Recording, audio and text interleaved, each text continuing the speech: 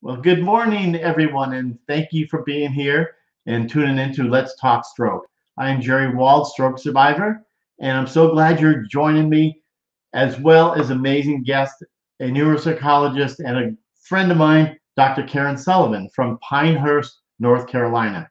So when you guys are on, make some comments in the chat section, and uh, any questions you want to ask, please do. And so let's go ahead and get started.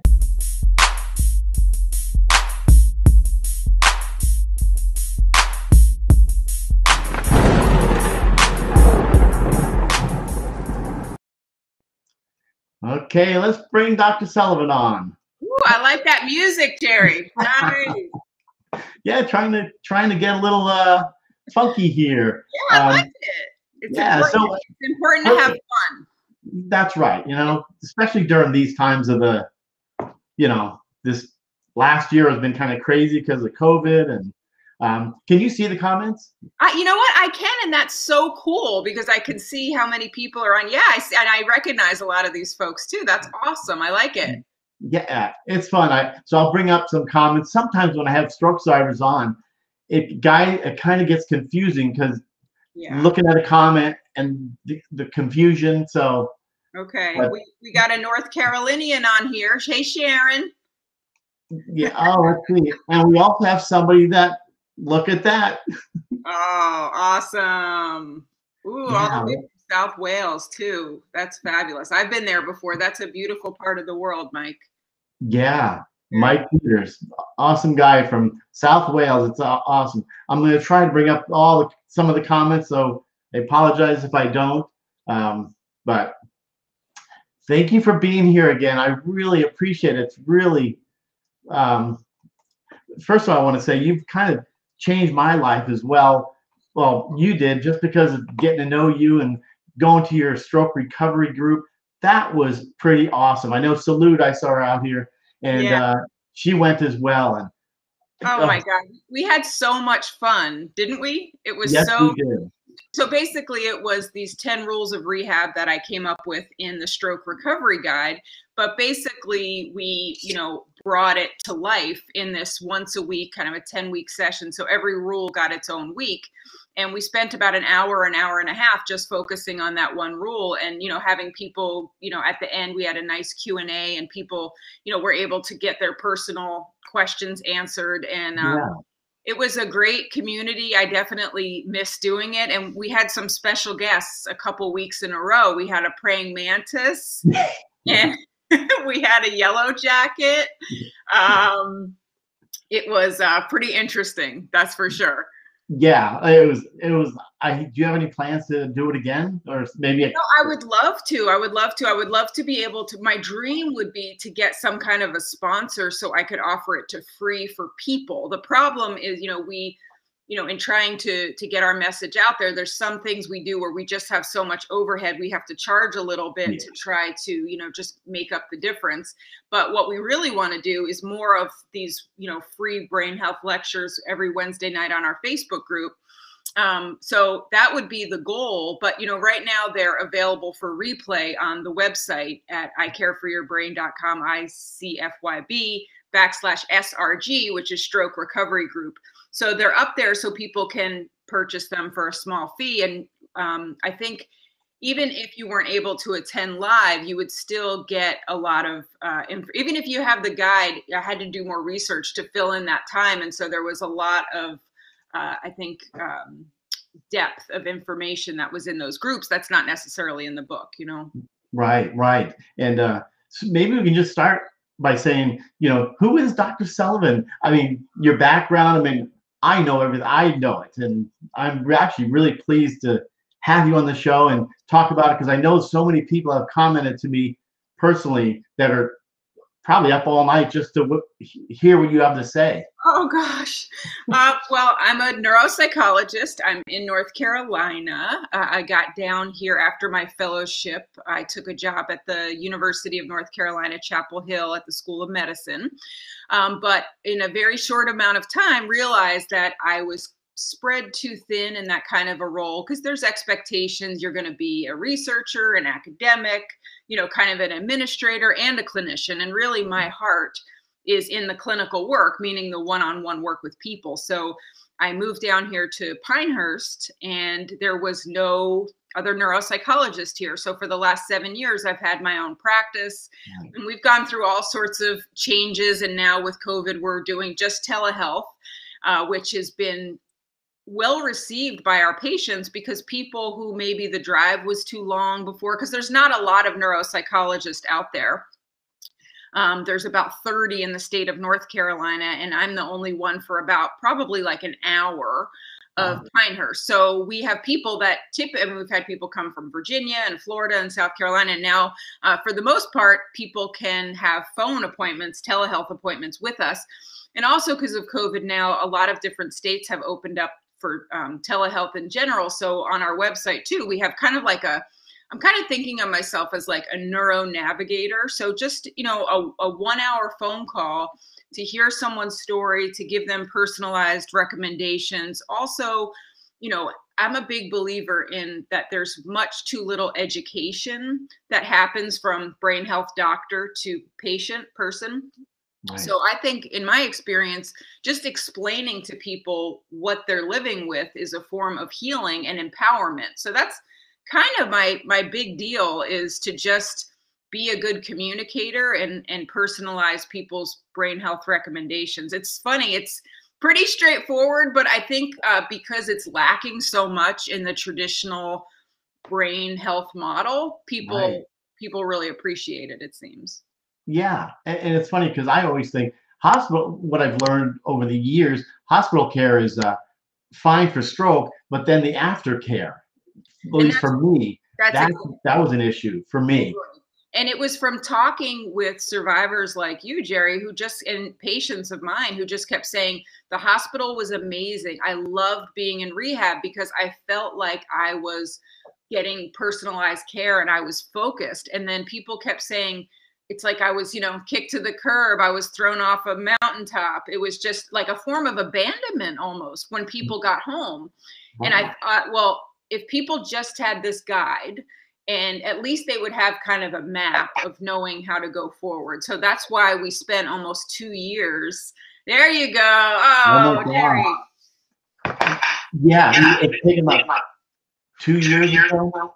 Yeah, about yeah, exactly. And so we're still like in our local hospital at First Health. They've been kind enough to support us. So every person who comes in for a stroke gets discharged with a copy of the guide. You know, it's for sale in the uh, gift shop in our local hospital and it's on our website and on Amazon.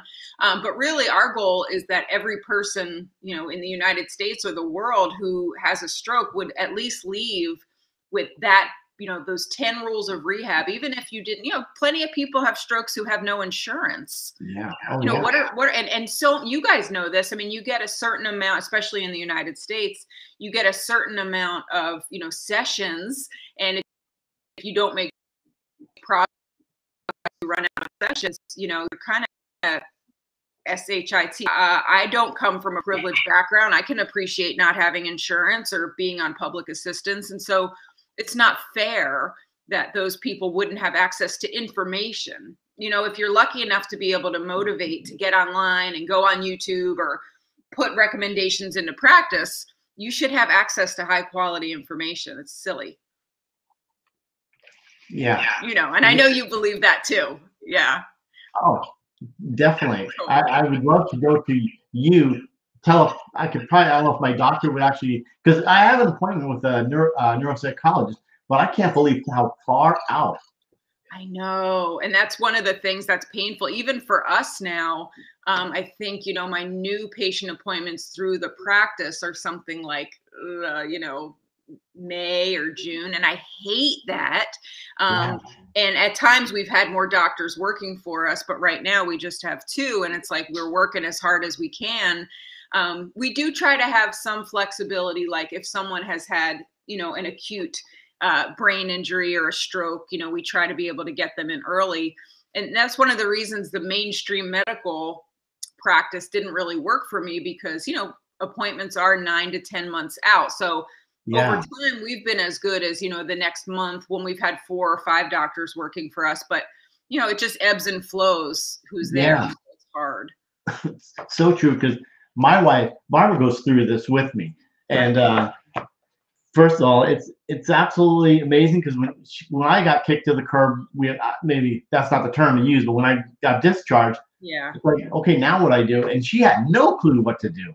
Right, exactly. And so that's what was tough about writing it is you want it there are these rules that apply to everyone's brain and everyone's neuroplasticity, but things also have to be personalized because your brain is unique going into the stroke, your stroke was unique, your recovery is going to be unique. So that's why it's interactive so people can write in it, personalize it, um, you know, make it their own. So it, it, it, that's why I think it took so long is um, Carrie Fry, the illustrator of the book, mm. we had so many uh, ways that we were trying to be creative about making it the most useful guide that it right. can people. Yeah. Yeah. These, the, um, so much, uh, so many comments. I'm trying to keep up with them, but, uh, um, but you know, I'm going through, let's see, I went through a, uh, a video. I can't believe it's about maybe two years old. Um, it was called the uh, Tas Tasmanian Healthy Brain Project. Yeah. Something about that, and I, I was very interested in that. Well, you know what's funny, Jerry, is I read so many things, and you know I try to do a free brain health lecture on Facebook once a week. So believe it or not, the memory doctor does not remember that specific. yeah. However, I will tell you the the current neuroscience on that kind of thing. They they used to try to do, you know, clinical research and what they would do is look at the impact of diet, look at the impact of cognitive stimulation, look at the impact of exercise. And the truth is is that they just were not finding a lot of power. Each thing individually was helpful, but a smidge. So what the new brain health projects are doing is they're trying to make these uh, multidisciplinary programs where it's everything. It's an anti-inflammatory diet. It's unique exercise, it's socialization, it's cognitive engagement. So that's really the wave of the future for brain health is not just going down a rabbit hole of one thing. It's trying to figure out how everyday life can be your rehab. Everything is a rehab opportunity. Right, right. right. And this, this is like, like behind it on page 50. Um, you probably know this by heart. On page 50, you talk about, you know, and I love this because I read this all the time that it, bring bring on what's familiar.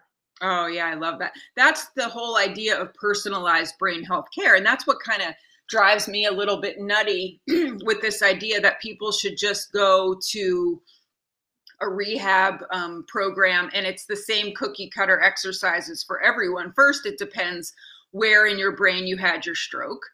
Right. it depends on your age. It depends on the rest of your brain health. It depends on, you know, motivation is a funny thing after a brain injury. All too often, I think we put it on the individual like it is a almost like a spiritual trait. You know what I mean? Yeah. Uh, like it's separate from your brain. The truth of the matter is, brain injury absolutely affects motivation. Somebody could have the intellectual idea that they want to do four hours a day of rehab, but if certain parts of their brain aren't working well, they're not going to be able to make the plan to see it through. They're not going to have the initiative to get started.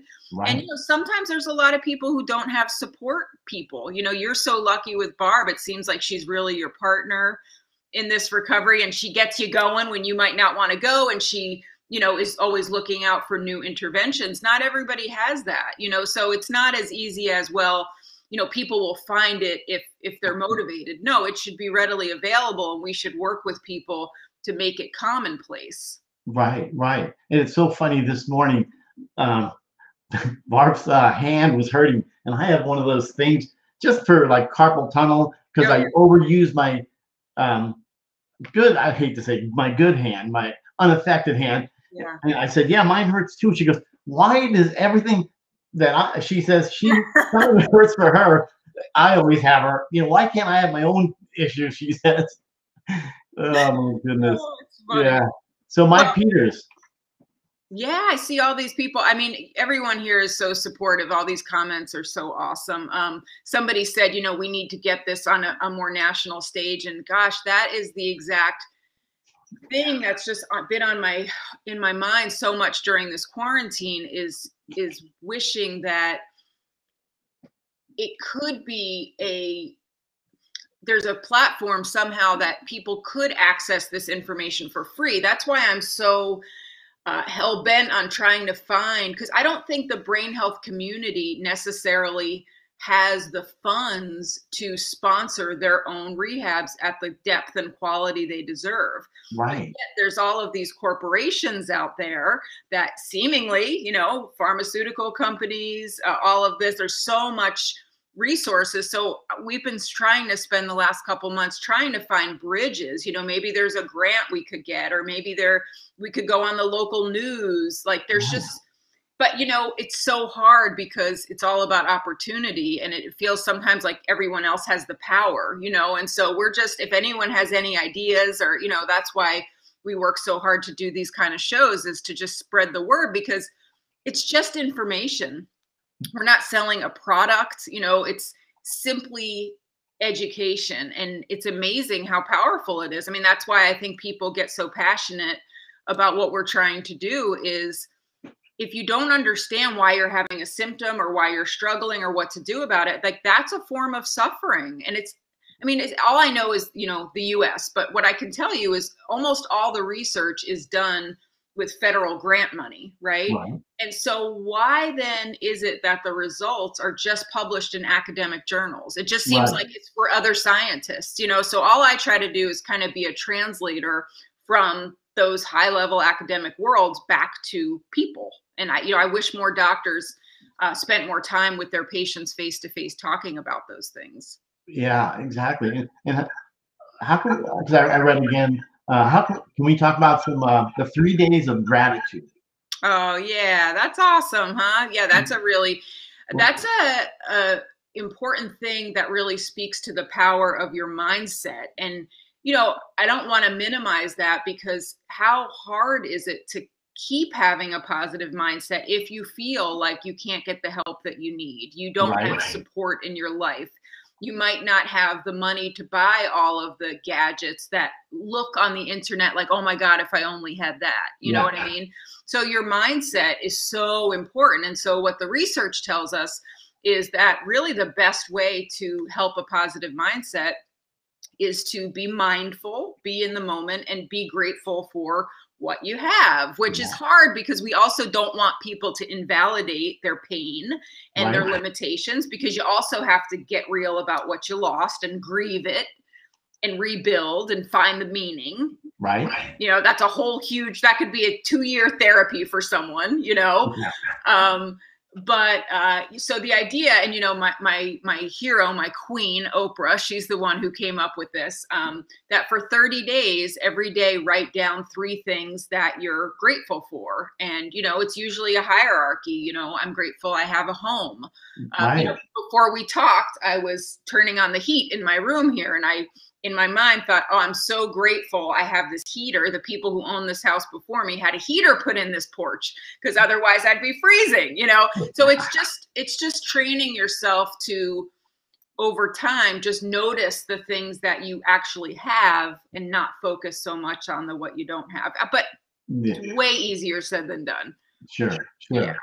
And I don't know if you know Yvonne, she's from Athens, Greece Oh, nice. Oh my God. I, I would love to go there. Those pictures of Greece are just amazing, right? Yeah, yeah. Yeah. There, there's so many uh I'm sure you see the comments, but uh Yeah, they're so sweet. I just want to say too, like the caregiver experience is a whole yeah. other world of neglect. And um I mean, people are within an instant sent home with someone and assumed to be a nurse a psychologist, a social worker, a chef, a house cleaner, um, you know, information gatherer, and you know, there's very, very little support for caregivers. It's an absolute crime, and never mind the financial burden on. You know, some other countries have stipends that people who are providing care for someone right. get. You know, and it's ridiculous. You know, supposedly the richest country in the world can't find their way into a system that supports people when they're down.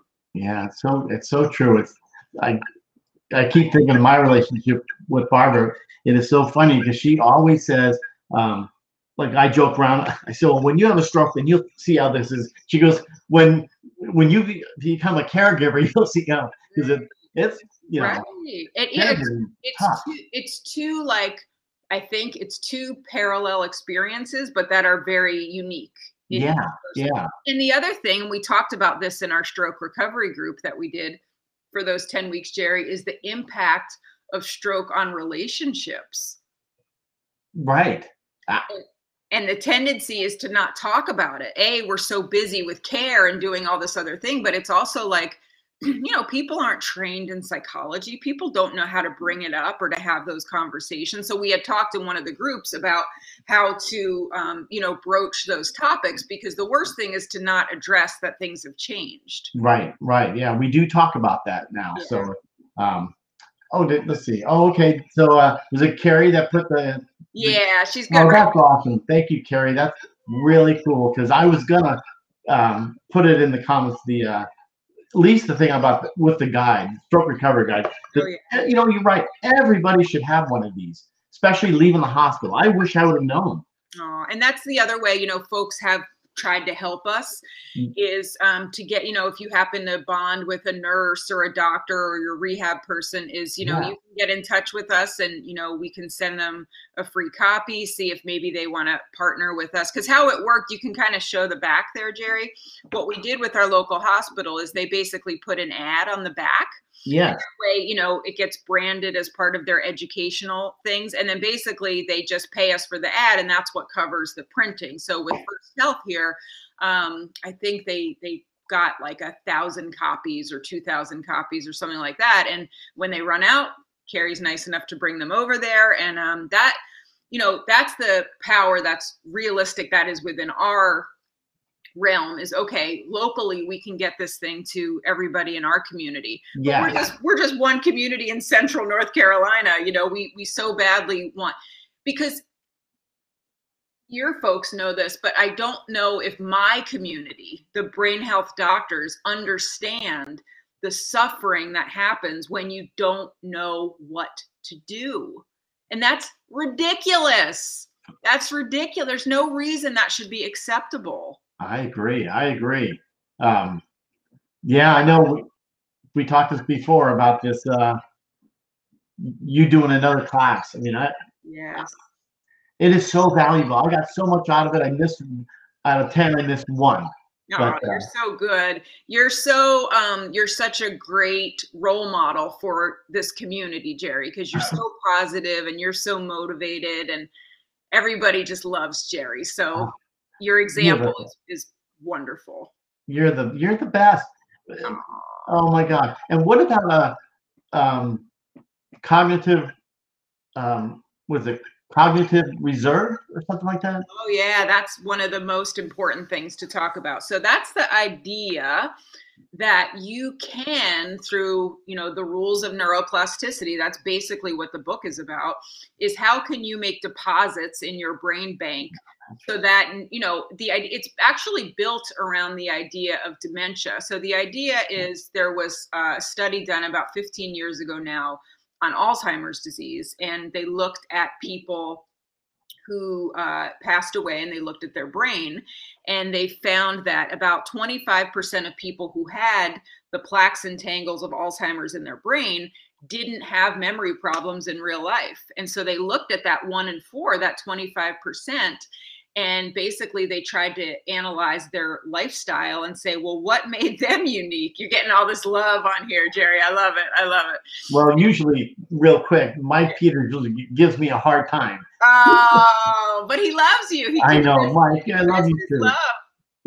Um, and so what they did is they looked at those 25% and they realized, oh, wow, these are the people who had all this cognitive reserve. And what it was was people who had uh, higher education, people who were very social, people who had a hobby where over time they could increase their expertise. So, you know, you come in as a beginner, but they kept at it and they kept finding ways to make it more complex and they did it often.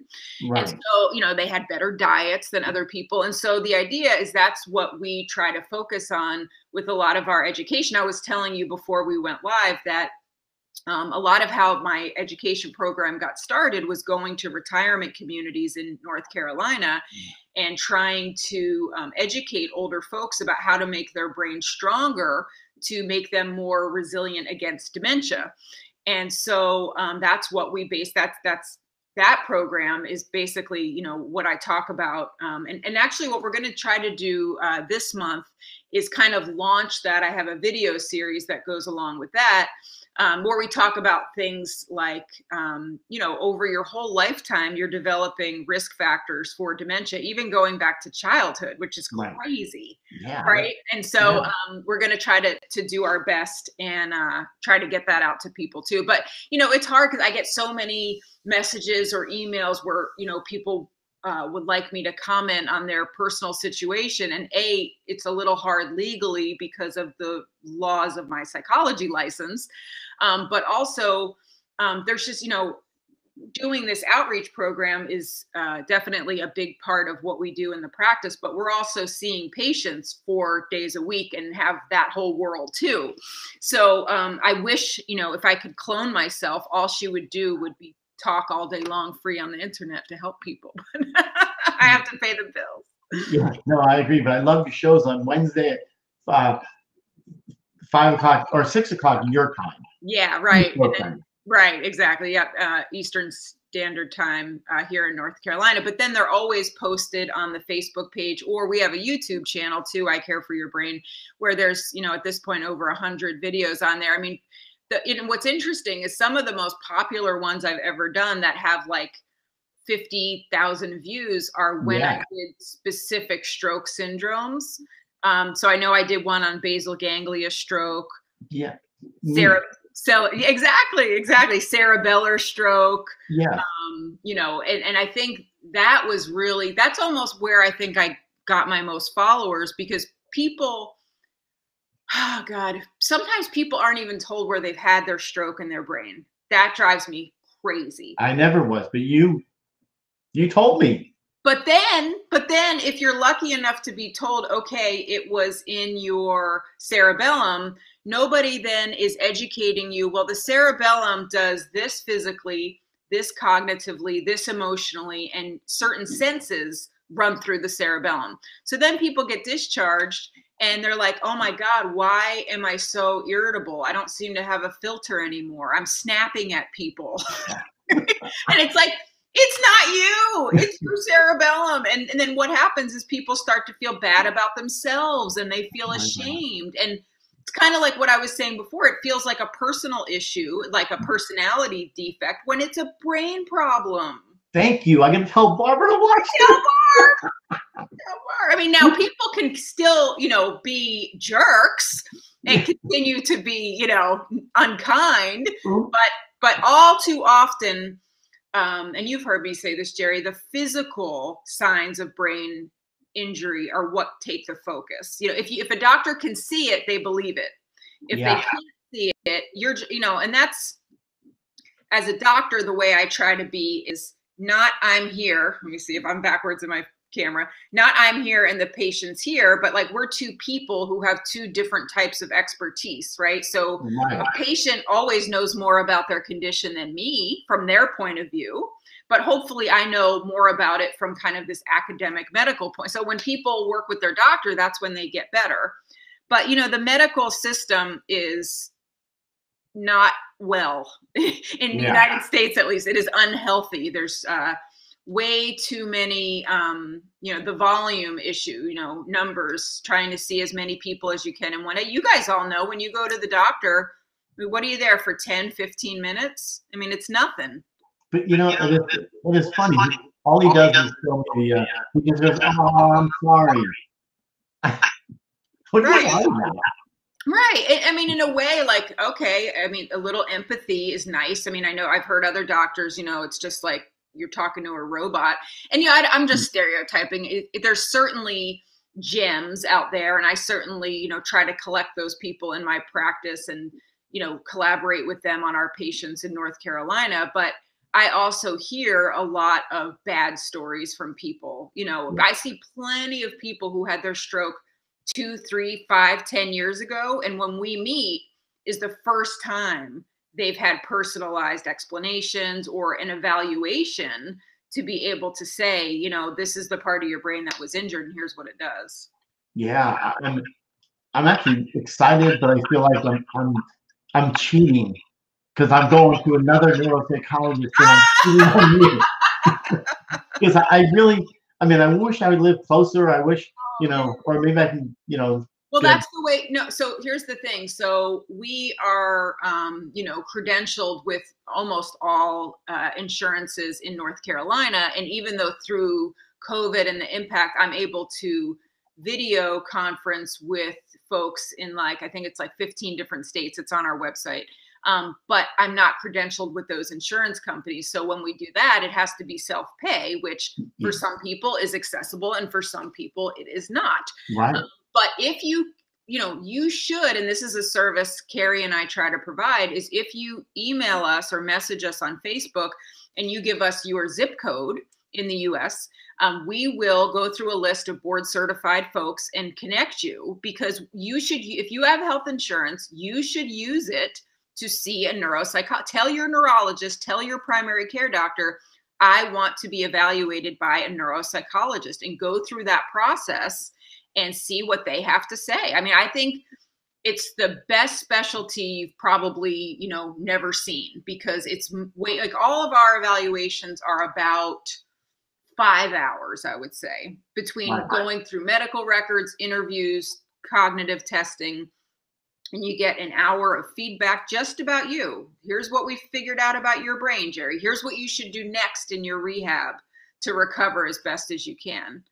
Yeah. You don't necessarily get that from a neurologist. You know, uh, to me, it seems like a lot of folks have had their best luck with physical therapists, yeah. occupational therapists, speech therapists, like the folks who are, you know, hands on the ground in your recovery. Yeah, yeah, I agree, hundred percent. Yeah, you're right. My neuropsychologist, he was just, uh, I loved him.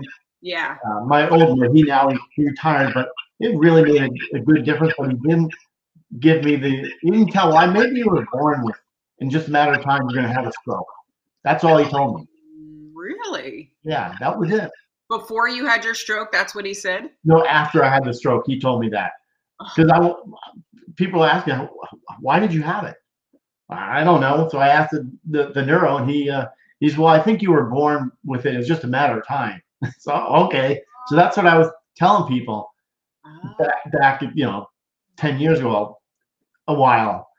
Did he say you had like uh, AVM, as they call it, Jerry, like a, a arterial venous malformation? You know, he never did. I wonder what that means. I don't know. It's so funny. I ordered again my records again, so they should be here any day, and I'm so excited. Um, maybe I could uh, bother you one time and just. Yeah, of course. I mean, I think knowing why you had your stroke is an important part of healing. And yeah. you know, there's some people who have the, you know, cryptic strokes where they don't have an explanation. And I think that's specifically hard. Um, but you know that's one of the the rules of rehab that we talked about is you have to know your risk factors what led to the stroke so you can prevent a second one. Yes. That's so and if you don't know what you're supposed to be controlling i think people can feel really lost and you know a big part of being a neuropsychologist and what i try to validate for people is the emotional side of stroke mm. again it could be brain based anxiety depression i mean these things aren't it really brings up these like deep questions about like philosophy and like who are we right it's like are we just our brain you know yeah, yeah. but whatever you think you're to me you know you're a, a, spiritual person and it runs through your brain your brain is like the lens yes. for life you know so your lens in your emotional center could be a little cracked from the stroke and you know, what happens if you do struggle with neuro fatigue so bad you can't do the therapies that would help you, you mm. know? Yeah. It, it's, you know, and again, that's where a neuropsychologist comes in. It's not just about the MRI, it's like, how are you adjusting to the stroke? And, you know, post stroke depression is extremely real and it's the biggest barrier to people getting better and it's treatable. Right, right. No one ever asks you the question, about depression, then you're never going to get diagnosed and then treated. Right. That's the thing. I I hear this probably 100% of the time when I talking to all my stroke friends and it's the it's the um, isolation they feel. Yeah. Uh huh. No one understands unless you talk to another. That I hear that. That's why. That's why you guys do so such a service for each other through social media. I mean, that's who's saving the day in the brain health community. It's not the doctors, it's right. survivors. Yeah. It's survivors who take their experience and communicate with other survivors. You guys yeah. are truly the heroes. It's it's totally true. Yeah, yeah, it's yeah. Uh, yeah, I completely understand. Then there was uh, one other thing too. There was a uh, um, so your lectures, which I, I they're all all science based, right? Oh yeah, that's what really started this, Jerry. All those three years ago was I was so sick and tired of my patients coming in telling me about the BS supplements that they were taking, spending all their money on, not doing real therapy because they figured this pill was going to be the cure. Yeah. Meanwhile, there's this whole world of brain science that is in the academic ivory towers, and nobody is communicating it to the very people who need it. And I feel so privileged to have gone to, you know, some of the most prestigious schools in the United States, you know, through the grace of God and other people's, you know, kindness and my hard work.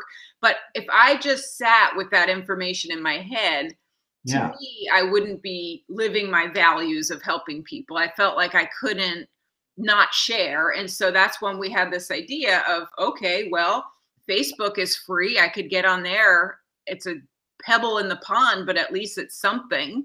Right. And over time, you know, um, hopefully we're going to get to about 10,000 followers. I'm hoping maybe this summer. And that's kind of my master plan, to tell you the truth, is if I can get enough views on Facebook and YouTube, maybe somebody will then see that and say, like, okay, let's get her a bigger platform so I can reach more people. Right. that's kind of the the dream.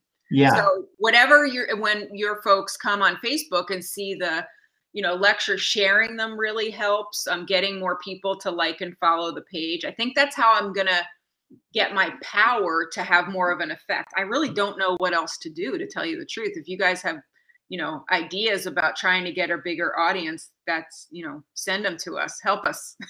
Yeah no that i i because i know that when i watch your show and i know salute and a bunch of other people i everybody's sharing it to oh, other so great. You guys, you guys are so good to me and how i really feel is like we're all in this together. Yeah.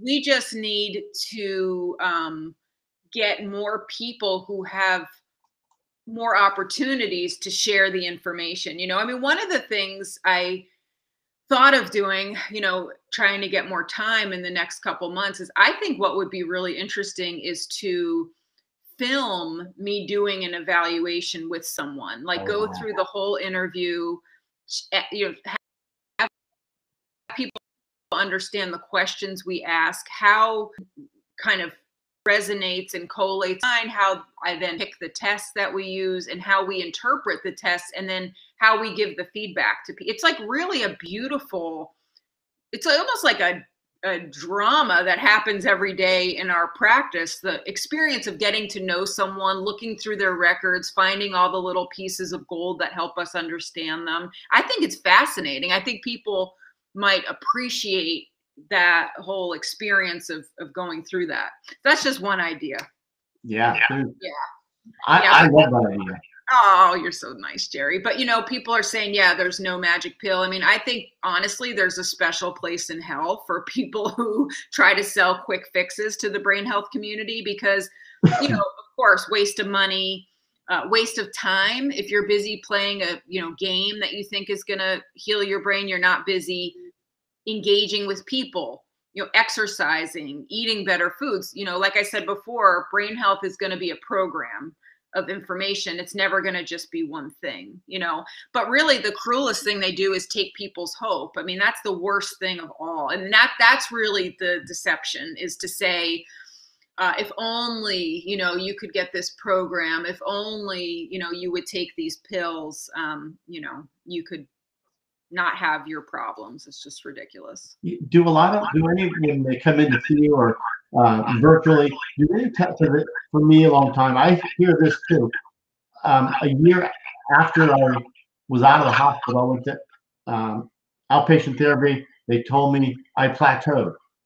Oh yeah, that's so. Yeah, and I've seen such improvements you know, still yeah. to this day. Yeah, Jerry, again, I think that's one of the services you provide the community is to say recovery is never ending. Don't right. ever let someone tell you you've plateaued. I mean, there is this idea, I mean, there is some truth to the idea that the earlier the better. However, it's truly never too late. And the idea mm-hmm. is you need the map. And that's exactly why, I mean, really, that's the reason I wrote the book is okay, let's say you're told that by the medical community that you're done. This is a plateau. The science disagrees. If you go to science, they tell you, I mean, through animal models and human models, you can kickstart rehab at any time. The more you put in, the more you're going to get back. But where can people turn for a trustworthy guide to know what to do? Right. You know, and like just using, I think rule number two is repetition and consistency. You could tell me, Jerry, open the book and tell me if I'm right. Yeah. Repetition and, so if you just go to, you know, insurance covered physical therapy in the right. United States, right? You're going to get like, I don't know, 8 to 12 sessions. When you go in there, they might have you do like 30 repetitions, right? Right. So if you look at the animal literature, like they give an animal a sham stroke, you know, they go inside their basal ganglia and they make a blood vessel hemorrhage, you know. Right. Not very nice, but this is how science, you know. Yeah. Moves. And then they have a uh, you know, they attach them to a treadmill and they have them do the type of repetition that you would get in typical therapy yeah, there's a little improvement. And after a few months, it's nothing. But if you actually increase the repetition significantly, like nine to 10 times the amount of reps you would do in traditional therapy, oh, wow, these animals just keep getting better and better and better. Yeah. So I'm not a conspiracy theorist, but I will tell you, I don't trust uh, the system of what is typically prescribed for stroke recovery. And I don't think it's a coincidence I mean, how could we expect the people who are paying for it to believe the science that it should go on for five years, right? Because then they'd have to pay for it. So, yeah. of course, they perpetuate the myth that there's a limited window, it's only a year, it's only two years. I mean, they're the ones who are paying the bill. So, what the heck? Yeah, exactly. And I, I wonder if Carrie or somebody put you had uh, on one of your shows, actually, was one of the uh, sessions about the uh, um, the mirror therapy because I use that all the time, and that that that really works when like Barb's looking at the, the hand and I feel I'm doing it. She could see that it's working. Isn't that so cool? I mean, that was something that this neuroscientist named Ramachandran came out with in California like 30 years ago when I was like an undergrad. I was, and he invented mirror therapy to help people with phantom pain who had an amputation. Wasn't even done with stroke for years and years. But I love practical, like DIY, homegrown interventions. Recovery shouldn't be, I mean, tech can help. Like, I'm super impressed with that. What's the name of the hand thing you're using? The Motus Nova Hand Mentor. Yeah awesome. I'm um, following what you're doing. It looks amazing. And of course, there's a place for that. Yeah. But there's also a place for setting up a mirror. Yes. Two dollar store mirror and tricking your brain into thinking your affected hand is back to working perfectly. Yeah, it does. It works. That's science. It doesn't have to be fancy or inaccessible, right? And so that's the kind of stuff that drew me into neuropsychology. My whole dissertation when I was getting my PhD at Boston University was about folks with Alzheimer's disease really struggle with making food, like following a recipe and making the, you know, their traditional dishes in the kitchen, right? Yeah. Well, that's very like emotionally important to people. You know, grandma always makes the dip, or, you know, mom always made the molasses cookies, right? so, one of the things we know about folks with Alzheimer's is they have vision issues, they have a hard time with contrast.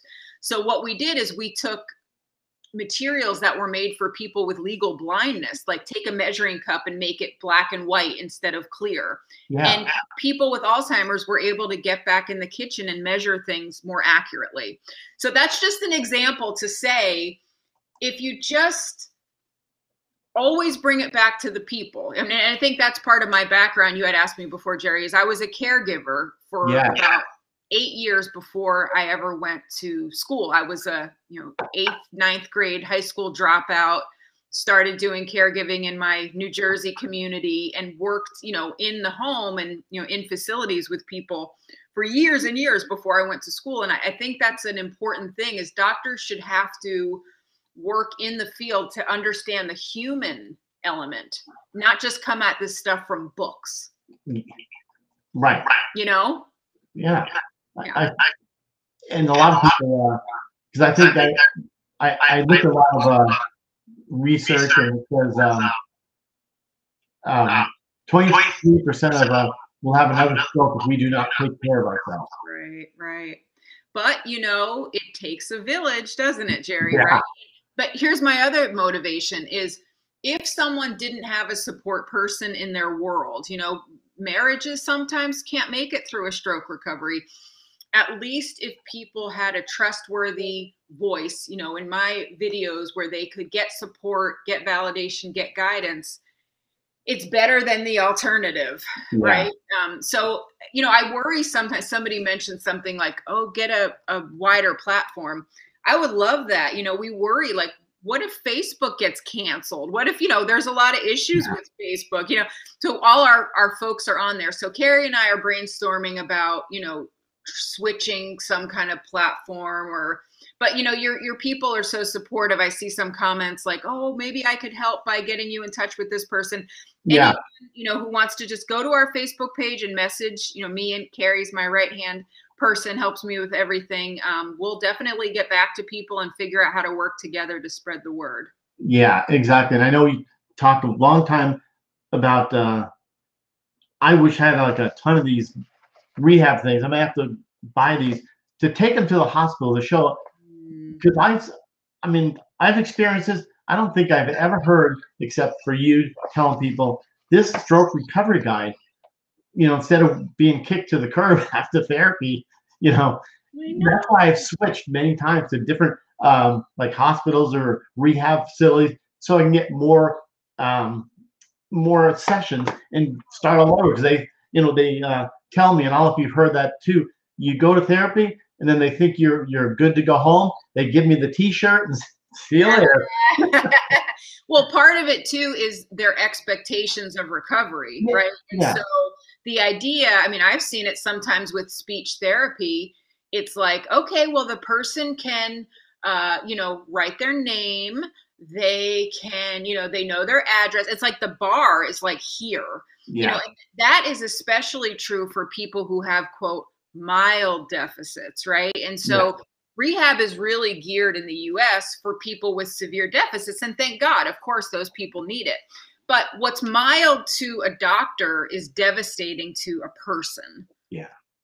Right. And so um, those are the folks that are listening to you. A lot of those people are the ones to find us on the internet. And, you know, there's just a lot of gaps in the, the healthcare system and it's just ridiculous. And so I, I think education is the best solution that that I've been able to come up with. And I mean, it's kind of sad, really. Just it should just be a standard part of people's neurological care. It should Right. you, you should meet with you know a neuropsychologist who helps you understand your unique deficits here's your personalized rehab plan let's check in every three months and see what else we can change up to keep getting you more and more function but right. it doesn't i mean unless people can pay for it it really doesn't exist and even then people go bankrupt trying yeah. to get better Yeah, because most stroke survivors end up they lose their well, you probably you obviously you know the they use lose their income and they Ah. can't afford you know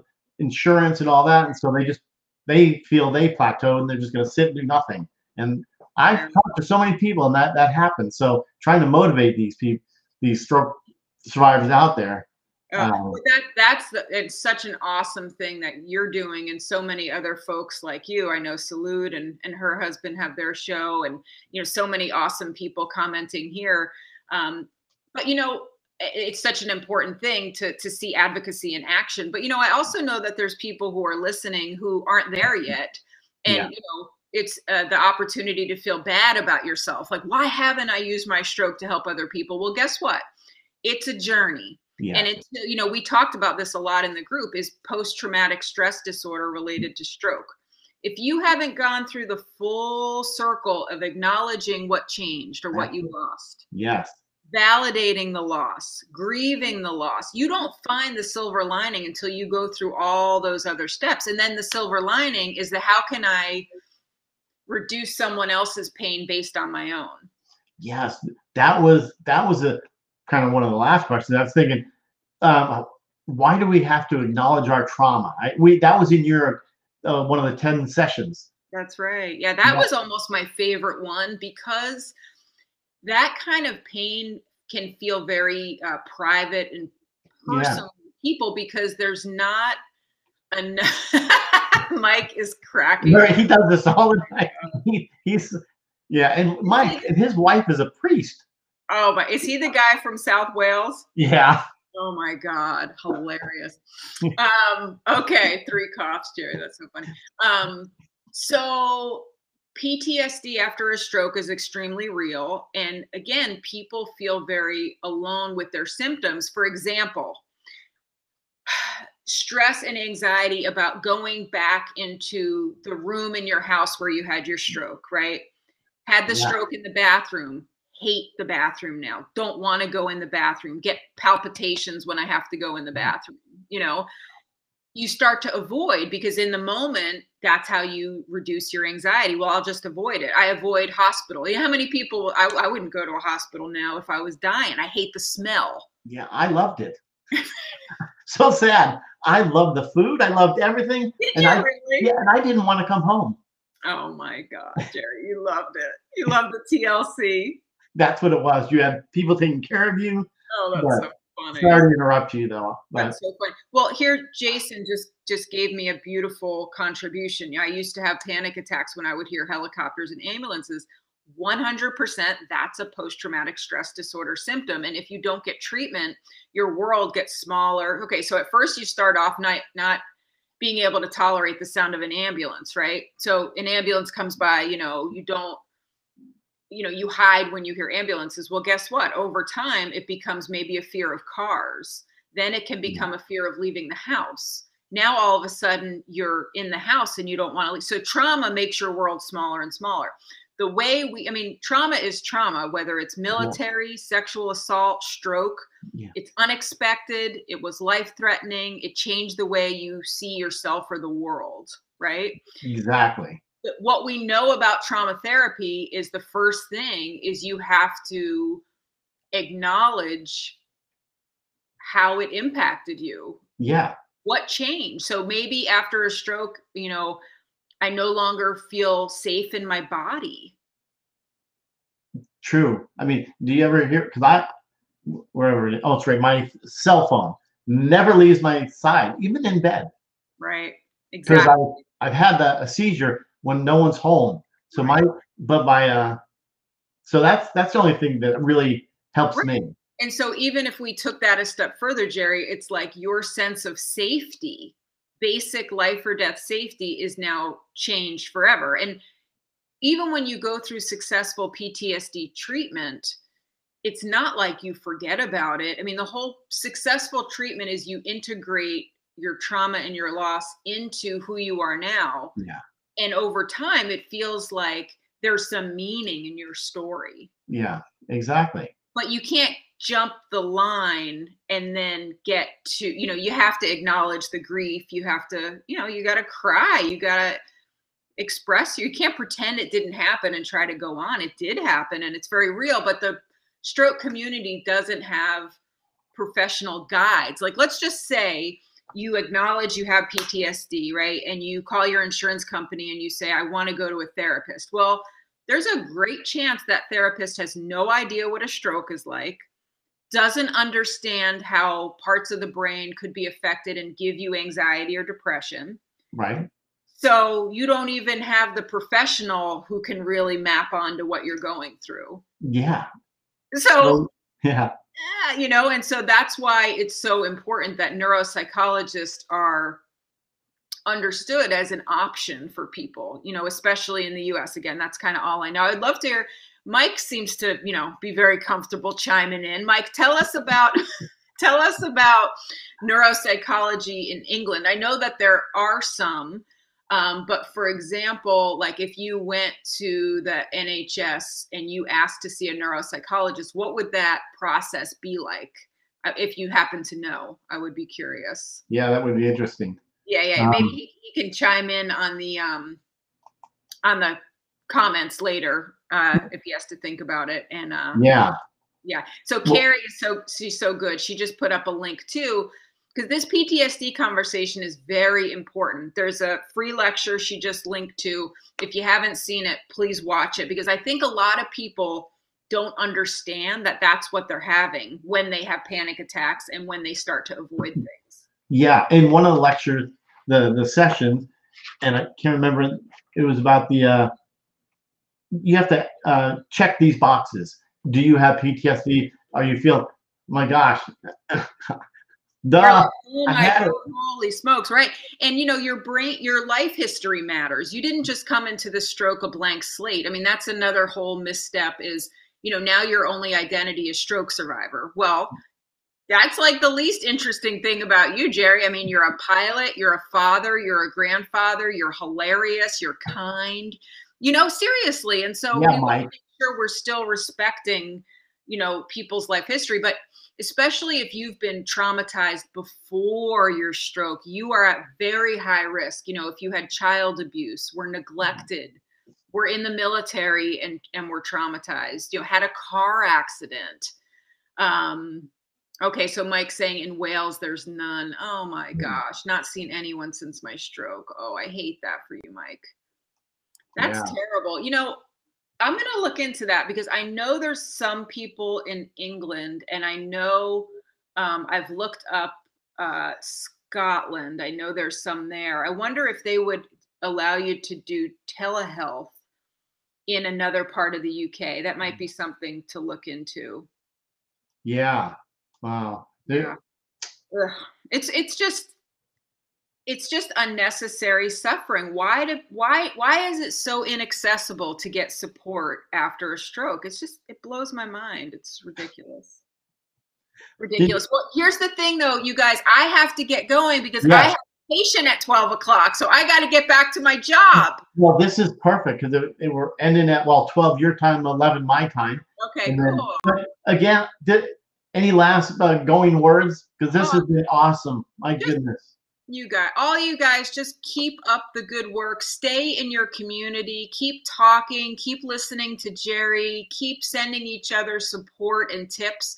Like i said you guys are really the heroes in this brain health community as it stands in 2021 i'm trying to bring in my community the medical community. I'll do as much as i can for you um, you guys have my whole attention and my my whole heart. So come on over to our website, see if there's anything there that might support you even further, and just try your best to stay on track with your recovery. And make sure everybody tomorrow, uh, 5 p.m. Central Standard Time, Yes. Dr. Sullivan's show, and all science based. And you got to see it. Don't miss it, please. And I will remind everybody. So Um, thank you the again. You guys are the best. You guys have a great day, okay? See you guys. Okay, bye. Bye.